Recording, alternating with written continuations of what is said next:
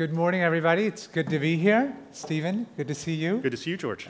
Thank you. It's a pleasure to uh, be here and um, just uh, share with you some of the trends that we're seeing um, uh, across the various verticals and industries that we service. I know it's an education event, and we'll try to focus in on some of those things, but um, I wanted to kind of, at least we wanted to give you a view of the larger market, uh, some things that you may be already plugged into, but uh, things to kind of look forward to. Um, and I want to thank LinkedIn for this opportunity. So, um, digital media trends that we're seeing. Um, you know, the, the state of marketing is that, as you know, and it's nothing uh, that's not um, you know, well discussed, there's so many touch points, especially for us who are in the business of measuring and helping advise clients and brands and, uh, and, and customers or end users like um, education uh, institutions there, there are lots of touch points. And there's no single path to purchase anymore. Stevens will talk, talk to more about the consumer path to purchase, but it was a simpler time um, even just a few years ago, and there's no single path to purchase. Um, but we, we want to give you some insights today as to how this is evolving. And it's difficult to quantify impact. Um, there is no shortage of channels, uh, no shortage of touch points where you can reach your target audience. Um, and so, from our perspective, uh, one important starting point is to ask the right questions. Um, and data can inform or help inform the answers to a lot of these questions. And the answers will change over time. It's not a uh, static answer. And so I'm going to give, I'm going to present some examples um, that will give you an idea of how we use data to ask the right questions and to get some answers for a particular execution. Um, and LinkedIn is as good a platform or better platform than, than most in reaching the right audience and having a collaborative approach with uh, a platform owner to reach the audience that you want to speak to. Questions we try to answer, and we you know, we try to bucket things. There's so many points of interest, so many points of data on uh, consumer, on media, on engagement. We try to bucket things in our company into divisions that um, can work together or work individually depending on what the client needs are. Um, so some of the right some of the questions that we think are uh, should, people should be asking is, you know, what's the consumer's media journey? And some of that will be touched on later.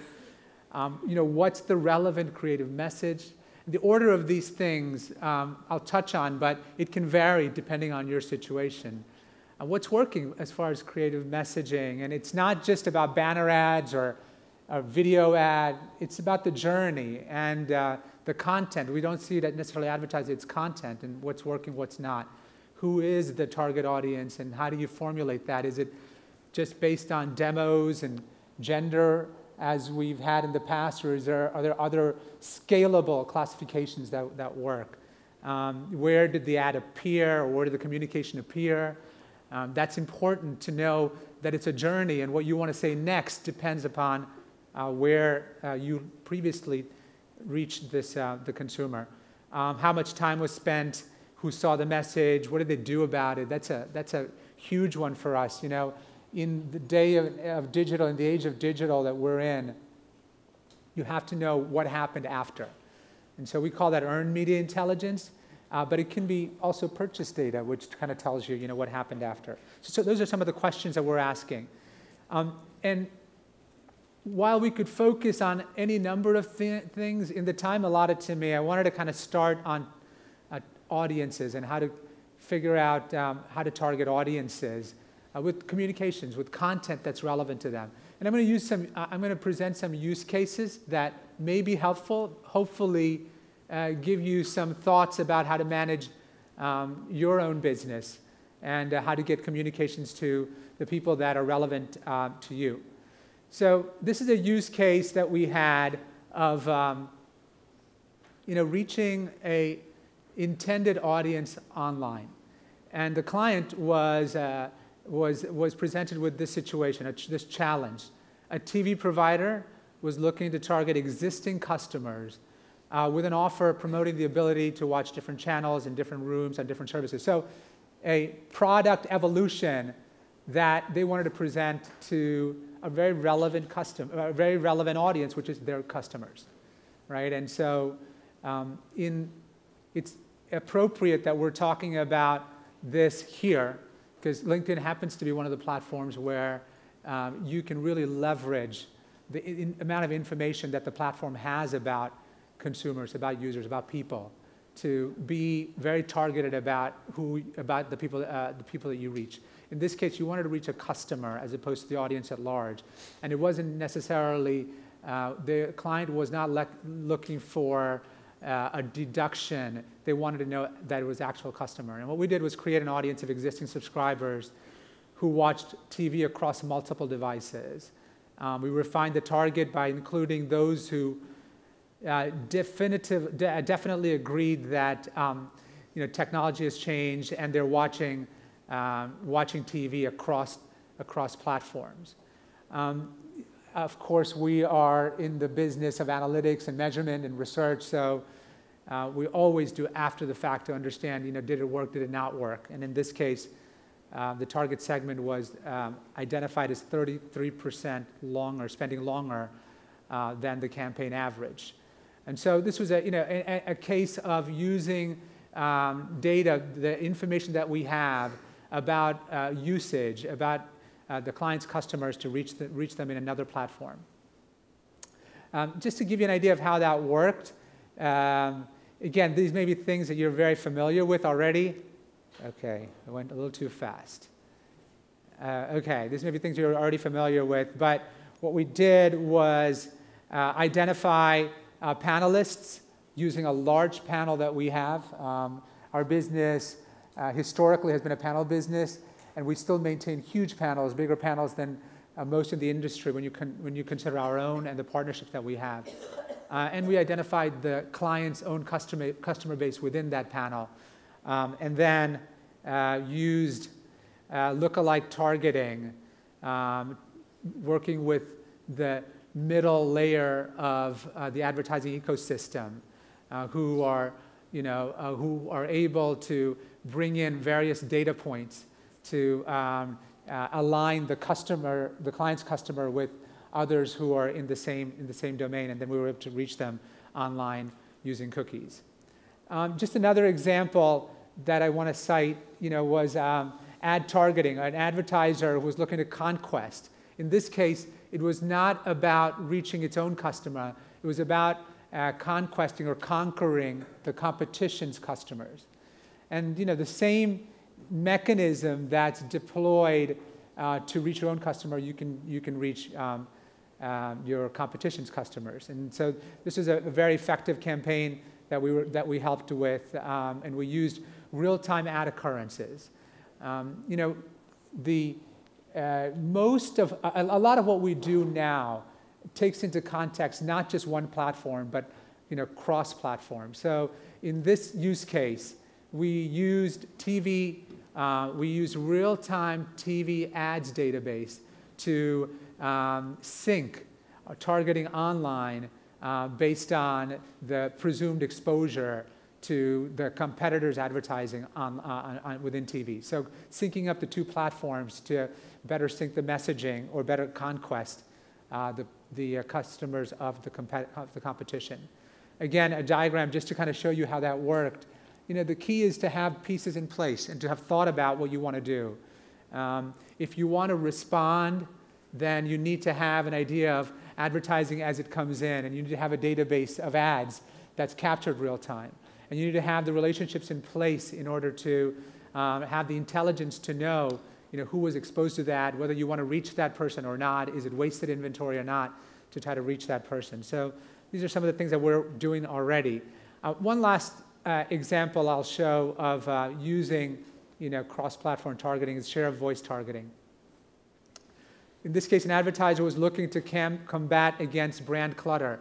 You know, there's so many voices uh, that come across people uh, like us and consumers as we navigate media channels.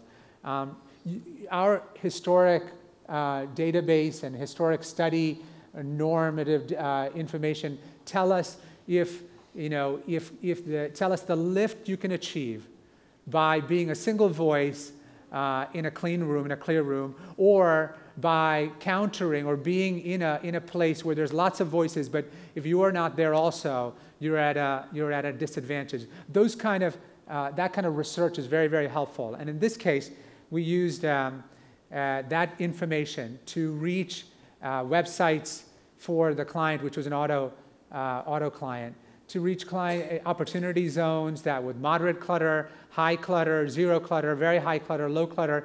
And clutter is defined by the client's own product and brand or the category or whatever, whatever metric you want to use to identify, to uh, isolate clutter. Um, and then, you know, decide uh, based on your, uh, based on the information and the research that your partner have or you have about how you want to, how you want to reach a high value target. Um, I could go on uh, with that, you know, with a lot of use cases that kind of show you how to work across media, um, how uh, consumers can be reached with very targeted messaging, knowing exactly what they were exposed to previously, knowing exactly what their journey, journey uh, was. But I'll, I'll, let Stephen speak to more about um, uh, how, how we kind of go about understanding the consumer journey, journey and explaining that to the marketplace. Thank you. Yeah. I'm going to walk around a little bit. Um, so I'm Stephen DiMarco. I'm the head of Millward Brown Digital. And I still get jitters when I do this. So when I get jitters, I, I tend to get a little cheeky and use some humor to calm myself down. I'll look at Saeed if he goes, don't know if I've crossed the line. The first thing I want to do, because I think you left us with plenty of time, is I want to have the, uh, the announcer in the back of the room say your name and my name, because it sounded really cool. Yeah. you did Saeed's name. So can you give us a George Pappachen? Uh-oh. Let's see. George Pappachen. Oh, oh, you got it that's right. good. That's good. That's pretty good. Pretty good. I'm How about a Stephen DiMarco? Stephen DiMarco. oh, wow. Not sure about that one. Ooh, it's like All right. or something. Yeah, sound like a male prostitute. uh, so by now, you may have been looking at my LinkedIn profile too, and you'll see that I, before I came to uh, the WPP family, I worked at Comedy Central. So I do have some comedy in my blood, and I use it freely. Um, so, and also, I have my phone in my front pocket, and so if I see you guys on your phone during my presentation, my assumption is that you are not only checking out my LinkedIn profile, but sending me messages. So the, the number of times it vibrates will be how good my presentation is. if I, don't, if I see you on the phone I don't get any vibrations, I know that I'm screwed. So we're going to talk about two things. Uh, George did a great presentation on targeting, and I think it's a really interesting topic, um, a ton of innovation. When we talk to our clients who are a combination of advertisers, agencies, and media companies, everybody's focusing on shifting from kind of more content-centric advertising to audience-centric advertising. So thinking about moving from a property-based media plan to an audience-based media plan, rather than using property as a proxy or demographics as a proxy, use the actual audience data. I think LinkedIn's a great example of that, both um, as a destination site, but also as a platform, data that can be used off of the platform. It's really fascinating. So George, thank you for the primer on targeting. I'm going to talk about the uh, consumer journey, otherwise known as the path to purchase, and then talk a little bit at the end about measurement, and then George is going to wrap it all up into uh, one nice big present.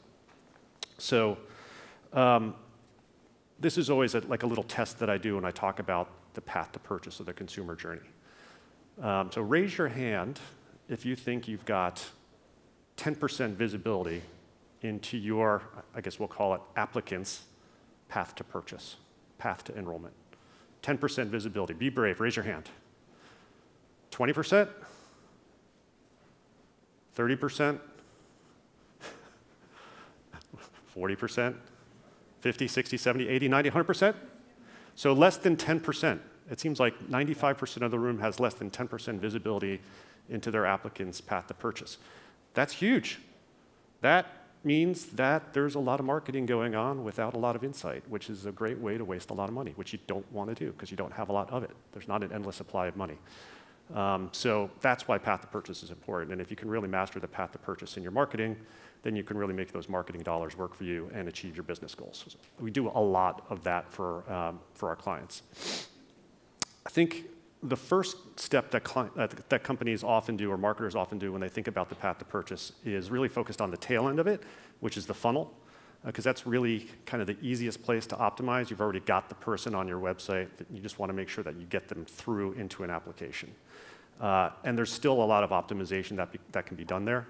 Um, with our clients, though, who have typically mastered that, you know, these are companies who are spending tens of millions of dollars on software to optimize the tail end of, of the purchase journey, um, they're really starting to go more holistic. And so they're looking further, further, and further back into the consideration process, going very broad uh, and very deep, trying to get as many people through the early stages of the funnel, mid stages of the funnel, all the way to the end. And that takes a lot of data and a lot of research, which is exciting because there's a lot of insights that can be drawn there. Um, but I think ultimately what marketers are trying to come up with is you know, we like to think of it as like a marketing operating system for, your, for their business. Think of an operating system for a computer, pulls all the different parts together and makes it easy most of the time to get stuff done. There's an opportunity to do that with marketing beyond just the tail end of the funnel to go way back and say, how do we build an overall marketing operating system that pulls together our media, our actual programs in and of itself, you know, the, the consumer experience of, of joining, enrolling in, a, in an institution, um, all of that um, through into one cohesive experience that we know with all the dials we can optimize. So we're going to talk a little bit about that right now. there are probably 50 frameworks for displaying what the path to purchase looked like. It used to be a funnel, right? Then people got really creative and they turned it into a circle. And then they got really creative and they turned it into a circle with another circle overlapping it and then it's all trying to describe the sequence of the purchase. And yes, there's, you know, simple, there's a sequence. There's a beginning and there's an end. But what happens in between is like this crazy display that it takes like a data visualization package to um, show, and all it looks like is a lot of squiggly lines. Because that's what a consumer goes through as they're trying to figure out what the hell they want to do, regardless of what industry that they're in. Um, so we'd like to break it down into two things that you really need to know. You don't need to worry about what it looks like because no framework actually can ever capture that. You just really need to know what you need to know. The first thing is as much as you can about the consumer segment. What are their demographics? Where are they based? And what are their psychographics? And the psychographics get really interesting now because you have a lot of interesting behavioral data or other data that you can append to their demographics. Age, income, gender, not nearly enough to do anything useful with, with, but you start to get into some of the LinkedIn profile data, you get into other online behavioral activity, um, you're starting to develop really rich profiles of, of consumers. So once you understand your segments, which there will be multiple segments, not just one segment, then you can really dig into what's the relationship. And for us, it happens uh, increasingly online because online is a place to do a lot of research. What's the relationship with the category? And what's the relationship with the brand? What's the relationship with the different um, channel touch points? And I'll go through each one of those now. From a category perspective, it's really understanding how are they interacting with the education category as a whole. There's a number of different aspects of higher education. Financial aid, selecting a school, selecting a program, all of that stuff, so on down the line. And you need to understand how consumers are interacting with that as they're making their purchase decision. How big is the category, right? People probably don't even know how big the higher education category is online. We do. Second thing is the brand. Typically, your institution, what do those brand touch points look like as people go in deeper into the funnel? Not only your brand, but rival brands. What's the interaction between, or what's the difference between an interaction that a consumer is having with your institution versus another institution, and what, what influences are each having on each other? And then ultimately, it's the touch points, the channel touch points that we focus on, which is it could be a shopping channel, it could be a media channel, it could be a device. If you can just master those, those things, which is probably complicated in and of itself, you can really start to make some headway in understanding the path to purchase. Once you understand it, then you can operate on it. So I've got a couple data slides here because we are a data and insights company, so I have to, I have to do it. One thing that we look at is um, how the category influences the length of the path to purchase and frequently the actual um, number of days that someone spends in the purchase funnel. So this is an example of different categories that we look at. From the left-hand side, it's low involvement categories, and all the way up to the right-hand side, is the highest involvement categories. So it's 48 days for online research for automotive and 4.3 days for alcohol, which I'm assuming is wine. I, am like 30 minutes when I buy wine. like one touch. so um, I think this is interesting because you really do see a progression of length. And when you see a progression of length, that means that there's a progression of marketing opportunities mm-hmm. um, to interject and place yourself within that purchase journey and start to influence people to your, to your site or to your institution versus others. So we know what the length is for, at least for, for MBAs, for graduate programs. Anybody want to take a guess what it is, where it would fall? Two days now. You can't guess. You already know. Two years. What's that? 18 to 24 months. So that's incredible. You know, it differs depending on the type of program that you're enrolling in. But for master's programs, it's 18 to 24 months. So that puts, that puts this, most of this group way far out on the left-hand side of, of the slide. And we also know that early on, people make, uh, form a consideration set of about three institutions that early on. So that means you've got a, um, you know, a very short window to get into that consideration set if you want to be the primary, one of the primary institutions. And then you've got 18 to 24 months to defend your turf from everybody else, as well as steal someone else's share if you're not in that consideration set. And that's where the role of media and particularly content marketing comes in. Make sense? Um,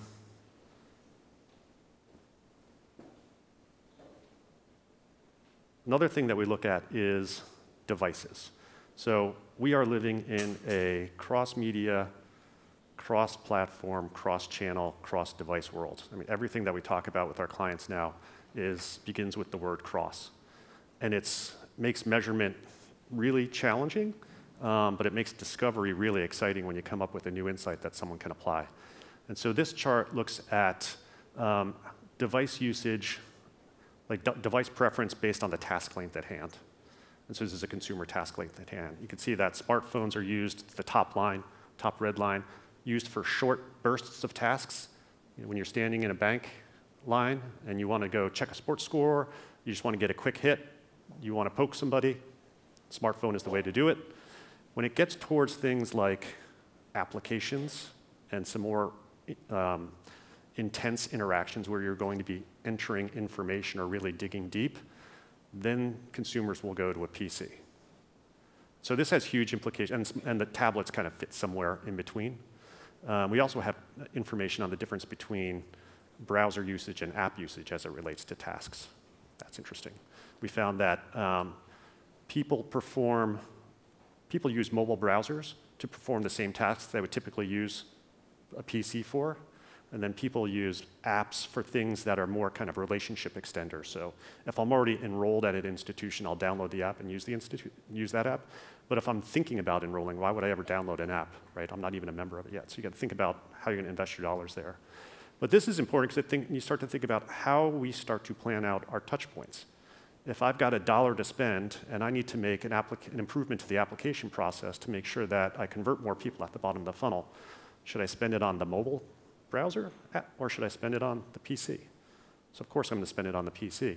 But as it relates to content marketing, you really have a tough decision. Um, if I were thinking about content marketing, and I realized that a large amount of the millennial segment is, you know, lives on their mobile devices, then I would think about mobile-centric content marketing at the early, early, early stages of the consideration set and make it really work on a, in a mobile context, which I think LinkedIn is fantastic at. So again, you've got to make marketing decisions based on the task that you think that your customer or your future customer is going to be enrolled in as it relates to which device you want to optimize for. This is what we call the size of the prize slide. And so what we've done is we have, a, like George was talking about, a panel of consumers uh, in the United States, about 2 million people big. So it's, it's the largest panel in the industry and we track their daily online activity across everything that they do online, which websites they go to, which web pages they visit, which search terms they use. which products they buy, um, which companies they're customers of, because a lot of people log into online sites for banking, financial service, et cetera. So we've got a really broad view of our consumers' daily lives online, which is a great reflection of their entire life. And so we can categorize all of this activity into which industries do consumers interact with the most. And when I asked my team to pull the data, this is uh, quarterly visitation to these categories, I was amazed how big, at first, the higher education category was. I expected it to be relatively smaller compared to things like banking. Everybody interacts with banking. Everybody's got a bank account. Everybody's got a credit card. And then when I saw that higher education was as large as one of the largest industries online, I said, holy moly, holy cow. Uh, there's a lot, the size of the prize is big. There's a lot of money to be made here. Um, and there's a lot, also a lot of marketing that needs to be conducted here. If you think about the difference between the, the higher education category and then all of the other classic categories like my cell phone, my car, my bank, and my TV, um, those are all pretty concentrated industries. So if you think about the banking industry, it's a very large industry, but your options to, uh, for a consumer bank are pretty limited to the banks that are in your region. You know, there might be five or six. Um, your options for a credit card are limited to four or five. Even um, for a wireless carrier, you know, that whole category is based on four wireless companies battling each other for a limited pie. It just doesn't grow. You look at the higher education market, it's literally hundreds, if not thousands, of providers who are vying for each other. Super fragmented market. And it means, to me, my interpretation is it's a whole lot easier to pick up market share in that kind of space because you can spend a little money and pick it up from a couple of different providers or a couple of different rivals versus having to steal a, a customer from AT&T or versus stealing a customer for Bank of America. It's a really, really exciting time, I think, for higher education marketers. And for those who can figure it out, because there are thousands of them, and there are about 200 people in this room, you're going to have a leg up over everybody else if you can start to put in practice some of these programs that we're talking about today. Because the other couple hundred thousand are missing out. So this is good. This is a good thing. All right. Sorry, I'm going to skip that slide. Other than say that um, I'm from Boston, hmm. and uh, New, Massachusetts and California are neck and neck here yeah. uh, on who has the most populated websites. So what we want to now talk about is, that wasn't a very good slide, I'm sorry. There was a reason, but we're running out of time. So that's the customer journey. Um, customer journey, when you do customer journey research, it's the kind of research that you do once every two or three years. Um, it's foundational research. It's very useful research, and it's the kind of research that can, you can leverage throughout your communications program, and it's the kind of research that you can use to get budget dollars from the institution, whoever controls the budget dollars. Um, it becomes facts and data um, rather than um, intuition-based you know, budgeting and forecasting. So it's very, very, very valuable research. What I'm talking about now is optimizing through better measurement.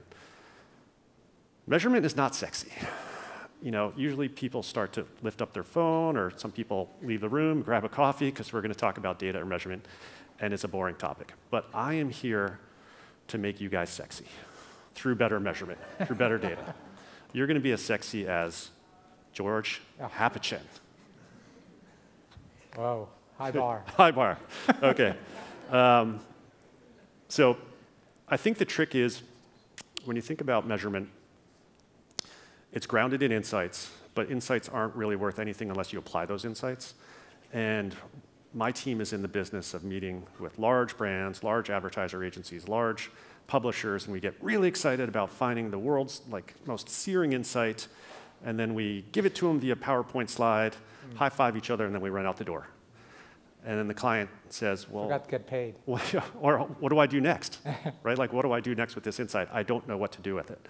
Um, it's a great piece of information, but I don't know what to do next. And I think that's if you're doing research and if you're using measurement, if you're using any kind of data, no matter where you're getting from, you have to remind the provider that it has to do one of two things. It has to measurably improve an existing business process that you're already engaged in, or it has to create a new business process that's measurably be better than the one before. And any piece of data, any piece of insight, any piece of advice that you get that doesn't do that, you just don't have time to deal with. So measurably improve an existing process or create a new one. That is a philosophy that we live by. So, how do we make measurement sexy? Um, there are a lot of presentations, a lot of views on big data. And big data is one of these amorphous things that scares a lot of people because it's big and I don't know how to apply it and I don't know what to do with it and it sounds like a job that should be somebody else's job. I'm a marketer, I don't want to be an IT person. So again, we try and simplify things down to a framework that's actionable and that we've uh, developed over time. For us, in the marketing process, in the media measurement process, in the optimization process, it's about the ABCs. So if you can think about audience, brand, consumer behavior, and sales, and measure across all four of those in a continuous way with a common data set, you can start to build a marketing operating system that I was talking about at, at the beginning of the session. So I'm going to go through each of those um, quickly, but audience talks about reach. I think that's a lot of what George focused on in the beginning. Yep. How many people in my target audience am I hitting with my content? With how much uh, frequency? And is it the, the latest uh, industry um, topic is, is the actual content viewable, whether it's a piece of paid media is a really big th thing. I don't want to pay for impressions that my audience doesn't see. So it's all, reach is all about efficiency. The more efficient you are, the less you can spend to reach the same amount of people, or you can even spend more money and reach more people.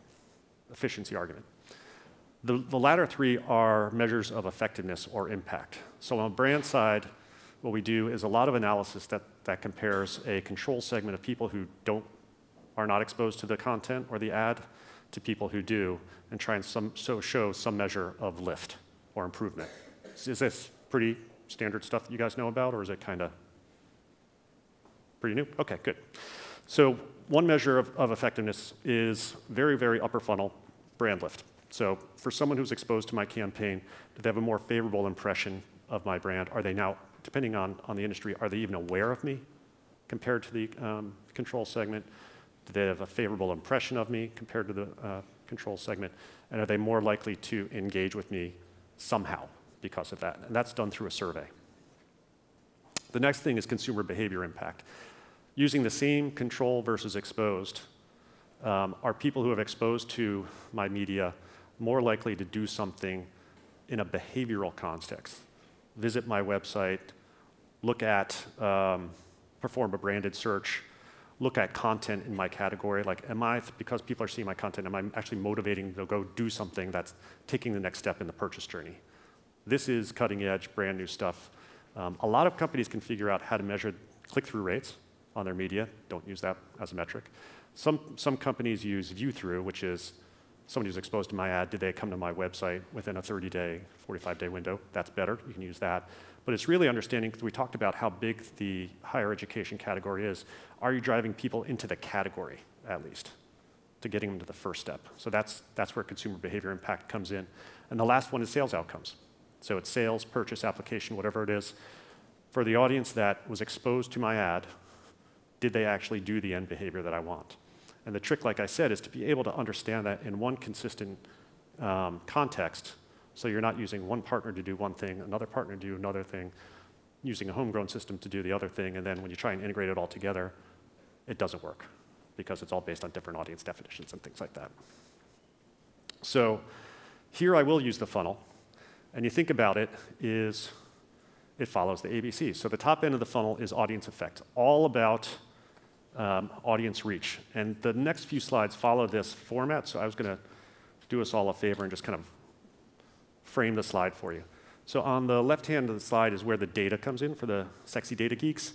And there's three components starting at the top. There's the performance of the campaign versus some benchmark.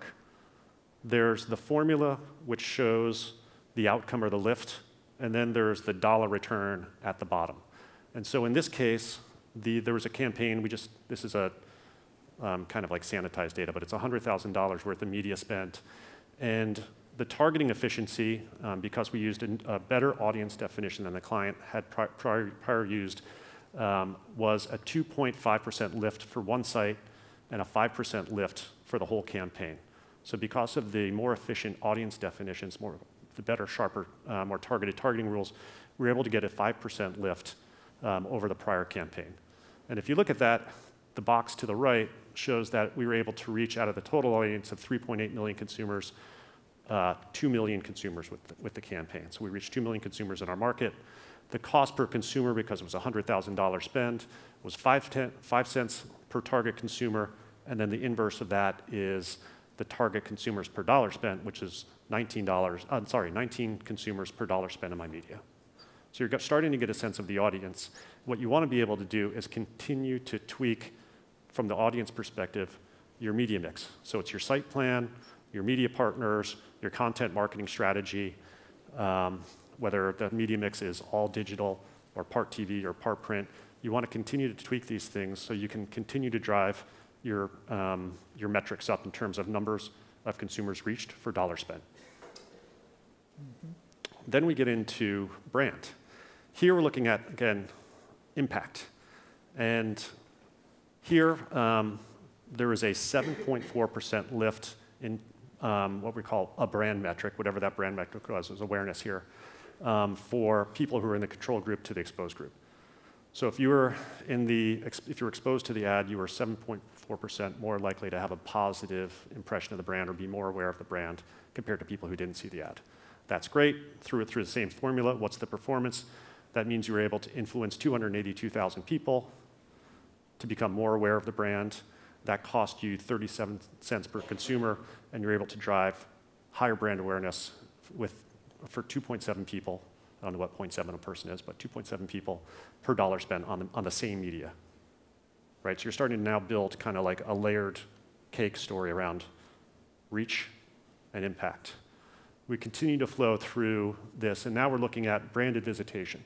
So branded visitation is someone who saw the ad actually went and interacted with the brand, whether the brand, whether it was the website or the social media channel that the brand participates in. So the LinkedIn page for your institution or the Facebook page for your institution, anything that that might be. And so control versus exposed is a 13% lift, which translates into 458,000 people performed the, the, the, kind of the behavioral activity that you were looking for, which means 23 cents per target consumer, and then four, four consumers or so did that. And then ultimately, we drive it through to sales.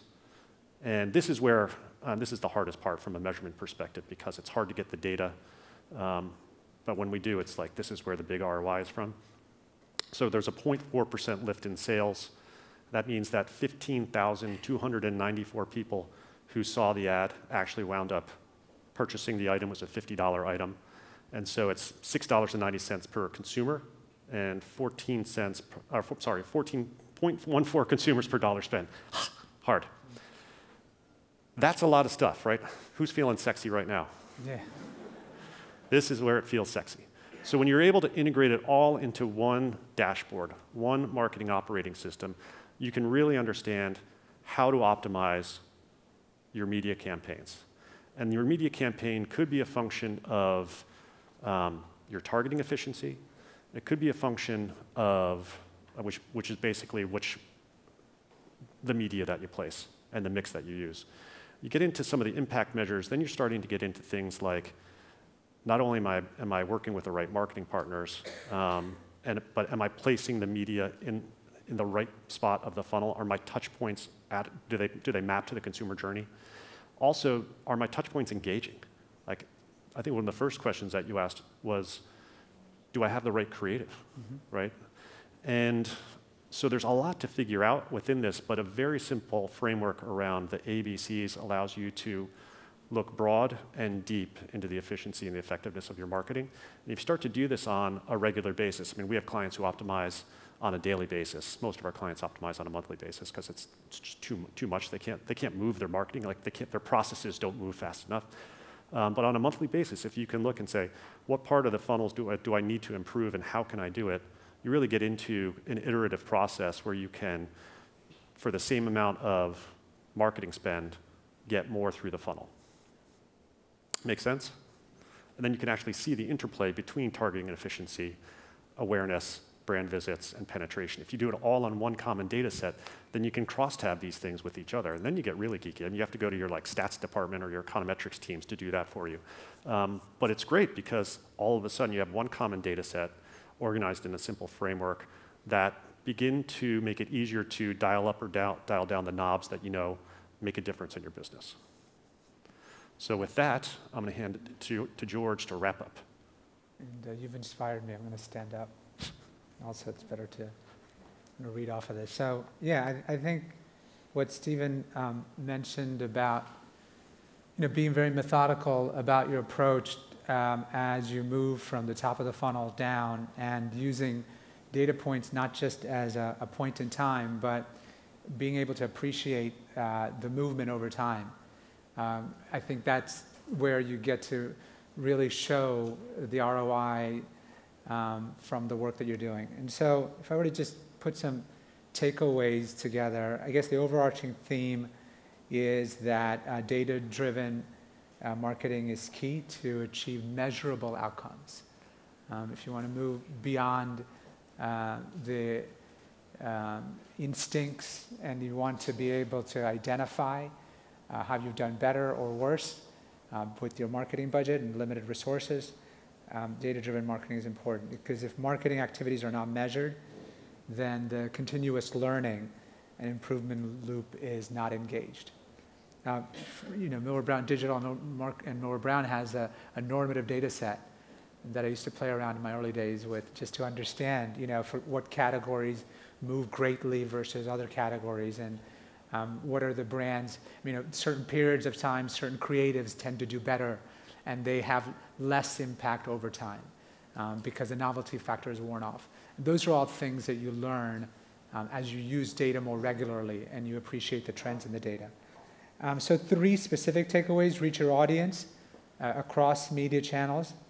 Um, you know, leverage time-tested, proven concepts like a message recency uh, uh, relative to an activation that, that you're expecting or message frequency and also the competitive context uh, to get more out of your investments. Um, like Stephen said, it, it, it, kind of is a zero sum game. I mean, the media channels are, are exponentially increasing, but when you talk, when you want to, uh, when you talk about return on your investment, there is a, a, a, share game that is in play. And so you want to understand the competitive context. And I showed one example of the clutter versus the not clutter. Those are things that can kind of go to the competitive context and give you a chance to speak or to present yourself uh, without, the, um, without the confusion of comp competing messages. Um, then consumers, sorry about that. Okay. Uh, consumers should be at the center of planning. Uh, the moments, and we've talked to the consumer journey a little bit here, but it's so detailed. I remember, remember in the early days of uh, Millward Brown Digital Compete, the consumer journey graph, and it had all of these lines, and you know, there's like four or five or six kind of, um, if you were to piece it all together, that give you scale. But it's so much more complicated now, and it's so, so much more specific to uh, not just the category, but also the, uh, the, the brand positioning within that category. So the consumer should be at the center of the planning, the moments and places in their journey where they're open to listen. Uh, you know, a two-year uh, consideration cycle, that's a lot of opportunity to speak. I mean, there's also a lot of opportunity for all of that to be conquested by somebody else, but still a two-year cycle. There are moments and places in their journey where they're open to listening and seeking out information, um, as you know. And there are also signals from our data set uh, where a decision is near. And it may be from uh, a, a, the category or the industry that we've looked at very deeply to draw out from across those clients where, um, where, where the decision point is nearing.